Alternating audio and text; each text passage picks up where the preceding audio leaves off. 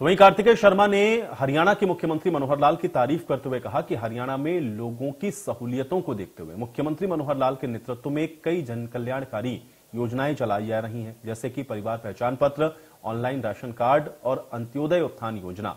उन्होंने हरियाणा सरकार की खेल नीति की भी तारीफ़ करते हुए कहा कि ये सरकार की खेल नीतियों का नतीजा है कि राष्ट्रीय और अंतर्राष्ट्रीय स्तर पर हरियाणा के खिलाड़ियों ने देश और प्रदेश का नाम रोशन किया है।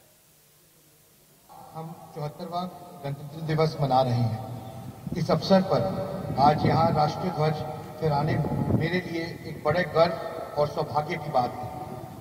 खुशी के इस मौके पर मैं आप सभी को हार्दिक बधाई एवं शुभकामनाएँ देना चाहता हूँ। भाइयों, बहनों, सन 1950 में आज ही के दिन हमारे संविधान लागू हुआ था। इसी संविधान के कारण हम सभी को समान न्याय, स्वतंत्र एवं सम्मानता का अधिकार मिला है। आज इस अवसर पर मैं बाबा साहब, डॉक्टर भीमराव अंबेडकर सहित संविधान सभा के तमाम सदस्यों को नमन करता हूँ।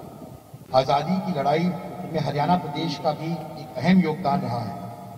आज भी हरियाणा के नौजवान सेना में भर्ती होने का अपना शान समझते हैं। ये कारण है कि आज भारतीय सेना के हर दसवें जवान हरियाणा से भाइयों बहनों हमारे महान स्वतंत्रता सेनानी के कठोर संघर्ष से हमें आज़ादी मिली है।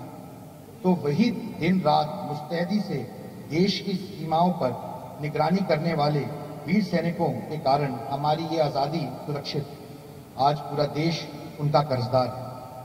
हरियाणा के मुख्यमंत्री श्री मनोहर लाल जी के नेतृत्व में मौजूदा सरकार सबका साथ, सबका विकास के मूल मंत्र पर प्रदेश के हर क्षेत्र का समान विकास करवाने के लिए प्रयासरत है।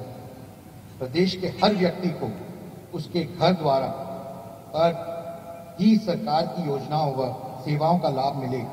इसके लिए लगभग सभी योजनाएँ और सेवाओं को ऑनलाइन कर दिया गया है।